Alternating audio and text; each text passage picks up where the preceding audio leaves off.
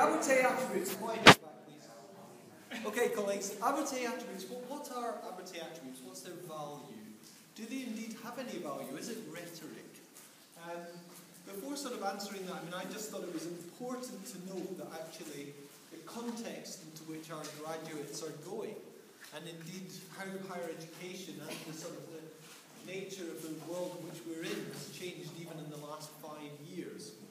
Um, increasingly, students are having to work in sort of multidisciplinary, what I would call quite wicked problems. The contemporary problems facing society, such as climate change, are not straightforward. And so uh, we have to try and future-proof our graduates. I bet there's a number of you in this room who are probably all walking case studies, and I'll take myself as an example. There's no way that I left school at age 17 and a half thinking I want to become Director of Teaching Enhancement at Abertay. And these are all the steps that I will have taken in my career to have got to this lofty, lofty position. So, and there is no way that any of you can, can actually expect that the graduates who leave at age 22 will go into a career that will then take them forward the next 40 years. On average, uh, I think I'm right in saying our graduates can expect seven major, major career changes uh, during their working lives. But I think it is fair to say that their time at university can give students the attributes, attitudes that actually does help, if not future-proof them, at least help prepare them uh, for a future career. so, okay, value of attributes, the language of graduate attributes. I do think that it's universities for a very long time have tried to sort of articulate what the value of education is. What is the value of an Abertay educational experience? And actually, we found, and I'll come on to this in more detail, but we actually found that when we really sort of delved into this and the work in Abertay attributes, actually what we came up with is probably an ethos of an Abertay educational experience. So I think that's, that was an interesting exercise, but it took us quite a while, as you'll see, to get to that point. I think they also have value, so they have value obviously for staff, in terms of their key reference point um, for curriculum design, they obviously they, they align with the new university strategy. I think for students, they probably have a range of benefits as well. I mean, I think it helps provide a useful framework for students to identify uh, areas for development, helps them perhaps articulate what they may have learned at university to future employers, maybe also just gives them a better sense of self. Um, and again, that goes back to what I was saying earlier about in terms of supporting our, our uh, students' um, career aspirations beyond university. Anyway, it's something that's very close to my heart. I hope that the workshop uh, will be of use We're going to have plenty of opportunity to sort of discuss with others what our knowledge is of the attributes, how they might be used, what the challenges are, what the opportunities are. I'm very grateful to my colleague Rosemary Allford. Rosemary is from the Higher Education Academy, uh, but Rosemary actually did some work, and I'll let her speak about this in due course. But Rosemary did help us a couple of years ago with some uh, work that laid the foundations for this new approach that we have to the graduate attributes. Um, before we continue, I just want to ask Bill, uh, Bill from the Vice President for the Student Association, if there's any opening words from, from your perspective. Uh, just, there's something quite interesting about these start with, which perhaps wasn't quite alluded to, and that's that we've, they're not graduate attributes any longer um, to start with, and they're people that, yeah, it, they're applicable to anyone who studies here at any level or, or indeed to an extent to the staff as well that, that are here, in that it should be a cultural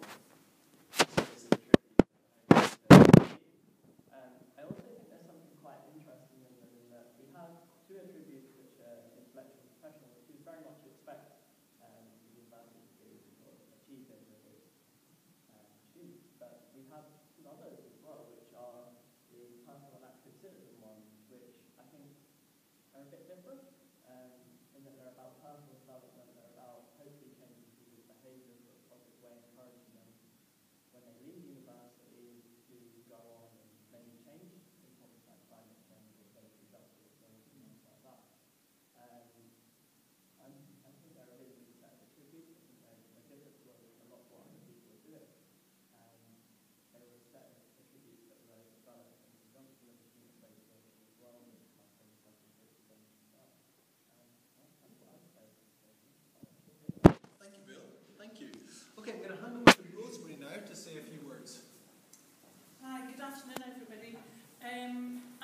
Said, um, I'm Rosemary Allford. Um, I've done some work um, when we actually looked a couple of years ago um, at the graduate attributes for Abertay um, University. And what I'm going to do is, first of all, this afternoon, I'm going to set you the context of how the new Abertay attributes came into being. The focus really this afternoon is about engagement, and we want to look and do some workshops uh, so as you've got your input from each and every one of you as to um, where you're positioning yourselves for the Abertay attributes within your current and present job role and um, your positioning with students. Um, that I'll be then doing a second session, and the second session I'm actually going to be doing is around um, employability and using the HEA employability framework. But in this session, want to, I want to talk to you about the graduate attributes and about graduateness and where we've actually come from to arrive where we are so that going forward um, we all have an understanding of where the staff, where you're involved, where you can participate because it is evolving. So, for the Abertay, so the talk about graduate attributes has been around since about 2002-2003 Scotland was actually quite far advanced in this in terms of its park and enhancement themes. There was conversations already taking place around graduate attributes and graduateness. Now, a lot of this is about terminology and about use of language. So when we're talking about graduateness, we're actually using um, a, a rhetoric which we need to define for the environment in which we are working because it will mean something different in different contexts and within different institutions. So we are defining what we're meaning for Grand Abertay attributes for the student experience at Abertay. So when it was first set up, Abertay was actually way ahead of the curve. They had a set of graduate attributes in 2007. So from 2007, from the set of um, attributes that she had, which I'm going to read, so you had bring this all back to you. Confident thinkers, determined creators, flexible collaborators, and ambitious inquirers. Does that make you send me it down your back, yeah? So that wasn't the first iteration. That was where it ended up as Ken just going, oh yes, remember. the point being is that what happened was it was chipped away at the edges, parts added to it, there were bits taken away, there was many hours discussing about semantics uh, of words which were used. Oh, and another contributor. and that probably caused a lot of pain to people over a long period of time. Okay? Well, it shouldn't really cause anybody pain, as I say. It should be about engagement and our student experience and where our students are going on that learner journey. And that's the context in which we're set, set up. So although um, the message about the student experience has remained consistent, it was time to actually look at putting um, graduate attributes in a context that fitted with our new graduates. That is, our graduates now belong within a, a global world.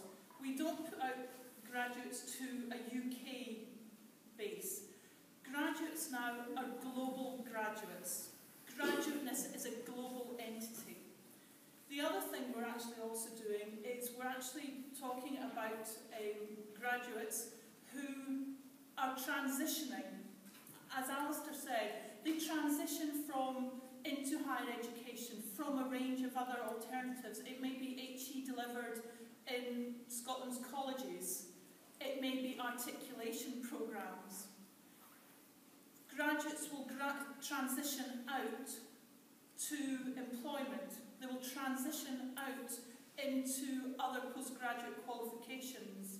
They will transition out into being part of setting up their own businesses, being part of entrepreneurial um, employment where they need those skills and those attributes. And they will transition through. Now, one of the key issues around graduateness and about talking about graduate attributes is that through the learner journey, as practitioners, we are able sometimes some form of qualitative and even more rarely some sort of quantitative measurement on that transition. Students are tend not to be able to be terribly good at articulating where they have come from to where their end point is. And part of our challenge is to actually have our student bodies and our graduates where they are confident in being able to talk about those the graduateness, the graduate attributes that they have gained through their student learner journey, in particular whilst they've been at Abertay. Okay? And we'll come through to that. So the rest of the story is, so we, I was commissioned two years ago, almost two years ago, summer of 2013, to look at graduate, enhancing graduate skills. And it included looking at work, work placement activities, work-related learning, and also looking at graduate um, attributes as, as they were then. What happened was this was a project that had senior management sponsorship. It was, I did, there was background research, there was a lot of paperwork that I got through the years, so secondary information, and I set up primary um, interviews as well, and there are many people in the room just now whom I interviewed as part of the project and gathered information from, both from um, professional services and academic staff and um, management um, within Abertay at the time. Now, with all good projects, when we, I actually put it together, and as a good project manager, I had a very well-defined set of aims and objectives for the project, We talked about that when we were setting up, but you get emer these emergent outcomes. One of the major emergent outcomes that we had was around the notion of Abertay attributes. So from the programme that we actually had, we had a series of um, recommendations. Just checking. So, part of the things to do with the Abertay attributes was, with any good project work, it needed to fit with university strategy. There needed to be a good fit in order that we should actually be able to take some of the notions that we wanted forward. So when we reported, there was a series of recommendations around placement activities, around um, attributes, um, around another a number of other areas around um, about employability, about enhancing the teaching and learning experience at Abertay. So in due course, that fed into um, Alistair's teaching and learning um, strategy that went through Senate. And we got to 2014. And in 2014, there were a series of workshops that were run. Again, some of you actually participated in it, where we actually looked at where the attributes were and some of the common themes that were coming through. So why I'm giving you this context and background is, as I started to say, this is about engagement. Okay? It's, we need to ensure that staff feel engaged with what graduate attributes are, because it's a very nebulous concept. We need to try and ground it a little bit, and one way of grounding it and for you to feel that you can take ownership of it is actually look at it in terms of your curriculum area, your discipline area, that you're part of the university, whether it be careers advising in the library, um, about PDP, um, about communications, so that you have an understanding of where your contribution to the Abertay Attributes message is. So that's, that's really our context. And what we were trying to do was to get the university dialogue and the conversations going, and that's where we got to in 2014. So some of the recommendations that came out from the report were, I'm going to read this so I don't miss any of them. So, first of all, that the notion of the Abertay attributes was very much that there was a wider applicability to the Abertay family. It was not just about graduate attributes. The Abertay attributes belonged to those students who were coming in. It also aligned with the curriculum for excellence, so that um, young people who were transitioning out of secondary school into higher education, they, it was a, about inclusivity. Okay?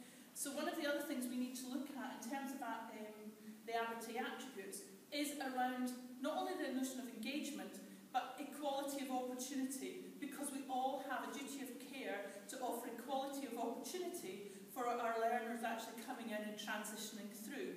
So the notion of Abertay attributes was about inclusivity. It was about a community practice where our learners actually come in and what stage they're actually at including our stakeholders. So one, so I'm a big fan of acknowledging our stakeholders.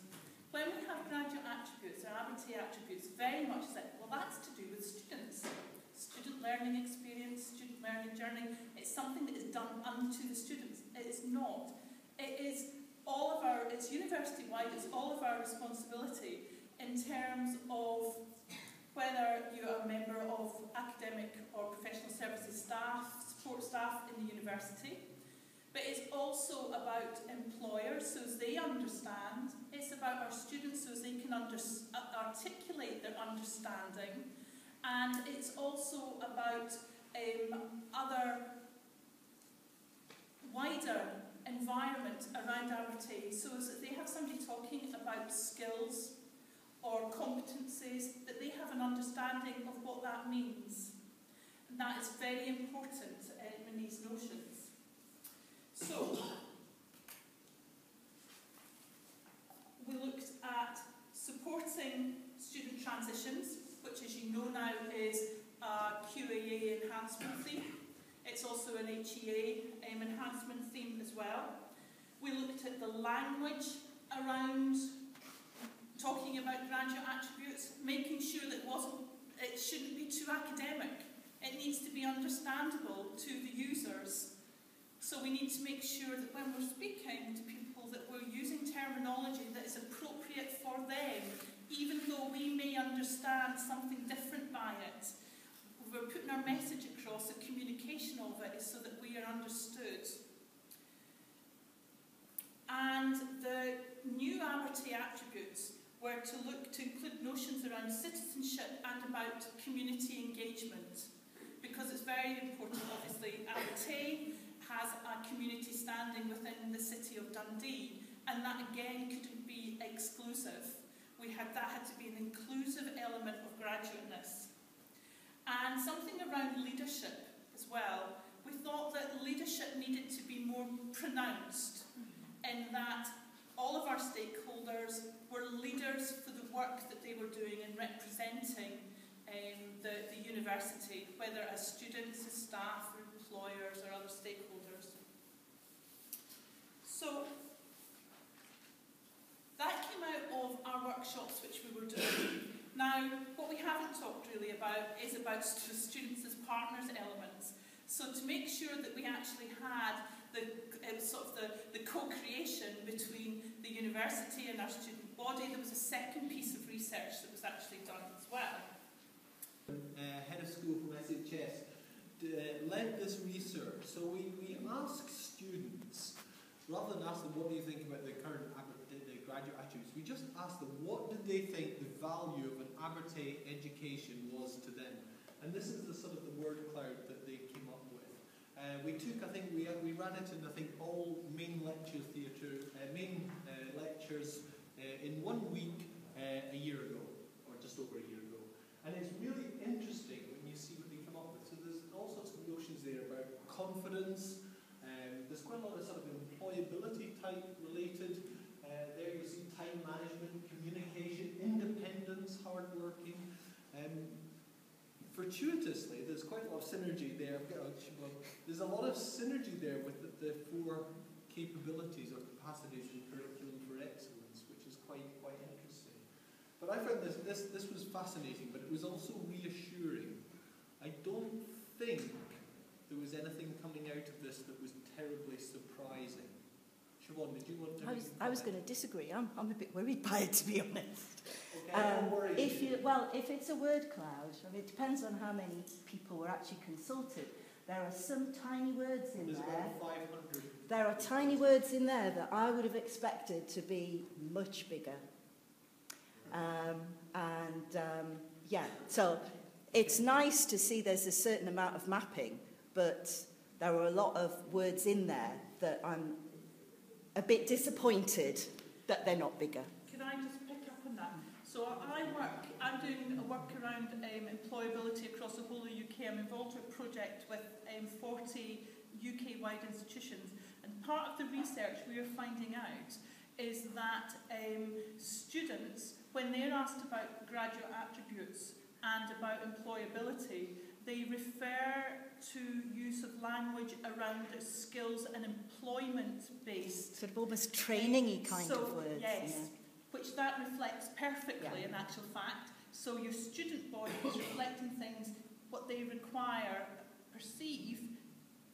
What I'm proposing is that us, as um, practitioners, we need to understand the other levels of engagement so that they actually have the intangible elements. Yeah. So it's but kind not of the yeah. fully formed employee, It's self-employed it's a person. very kind of concrete piece of data that we Yes. are not teaching to employability. I think. Well, well, it's not about teaching. It's not, it's not about teaching to employability. That it's students' perceptions is it's about getting a job. Mm. Whereas part of our role is actually to have um, uh, the more complete graduate, And it's the complete graduate that is employable. The difference being is that on a, uh, you know, on a curve, we're slightly along the curve we would like to think than the students who are still moving. And, and in actual fact, this is borne out when you look at research with um, postgraduate students or teaching on professional courses. When you have the discussion around that, their ownership around the, the skills basis, and the, they tend to be more competency based than skills based, and that's to do with experience, age, and more employment, etc., etc. Life bearing them down, you know, and this is so that reflects completely what a lot of other research says. Yeah. Thanks. Students. That, thanks. I think there, there is an interesting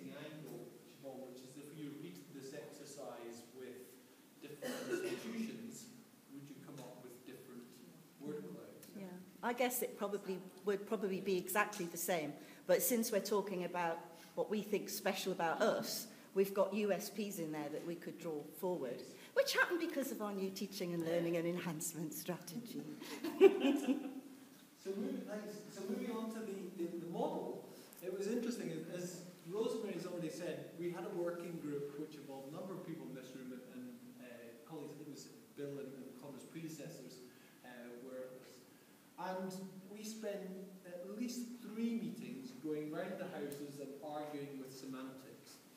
And we decided actually we were just going to start from a blank sheet. And I was amazed that within an hour, this was the model that came up. And everyone was able to agree at this level those dimensions to our graduates. Um, so I found that really quite reassuring because it was an inclusive enough framework that could talk to the various people that were in the room who were coming at things from a very different. We then, of course, spent hours fleshing out what those qualitative descriptors would be, and uh, that's where again we get we got down to issues around language. And Rosemary is handing out the these.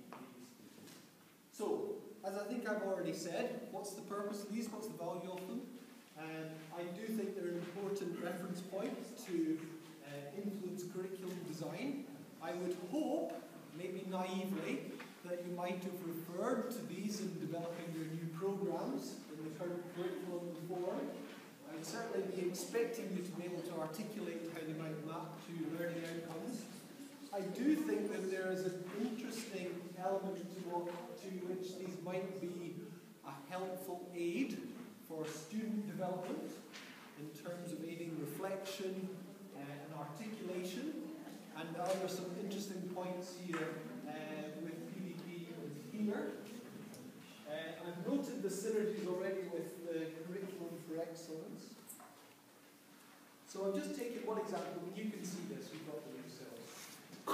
Each of those spheres, each of those dimensions, there is a series of descriptors. And we'll have plenty of opportunity to unpack those uh, and discuss perhaps. I would be thinking it's probably less helpful to try and rewrite them because we have them, they've been approved by the university and approved by Senate. What would be more helpful in your discussions when we come to them is to think about, well, what does this mean in my context? What does this mean for sociology or forensic science? Um, how might we, how might this manifest?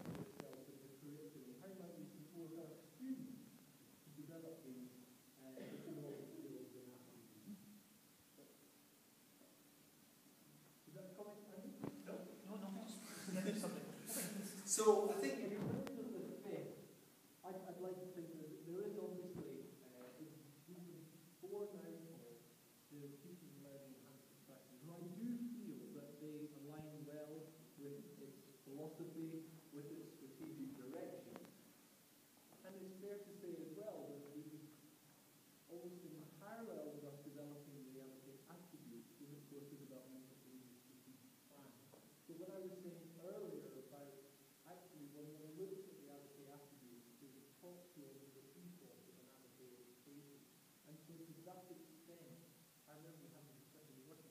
we actually have quite I would argue, in terms of developing the university's strategic plan that we just have.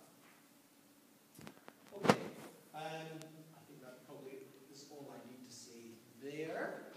So, now we're going to move again to Rosemary to talk about so what?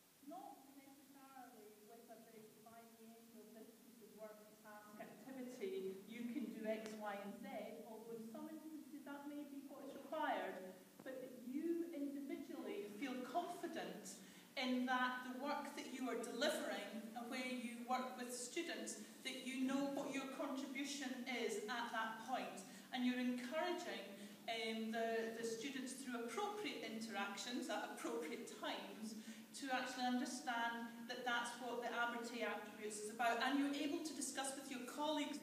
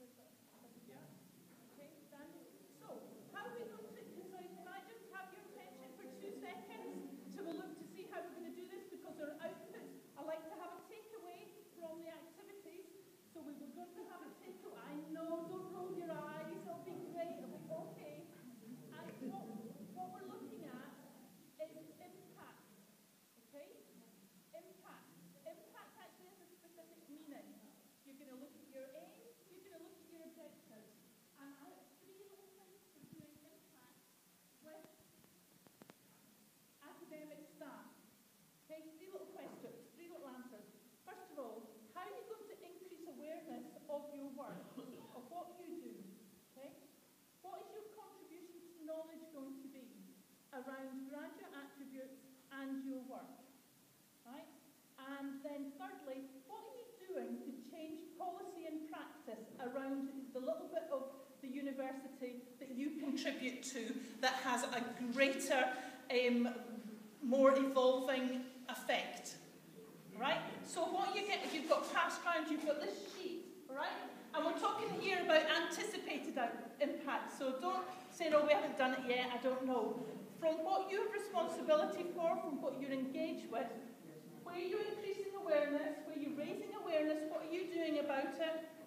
Increasing understanding, contribution to knowledge, and changing policy and practice. These will form your action sheets. Okay? If you feel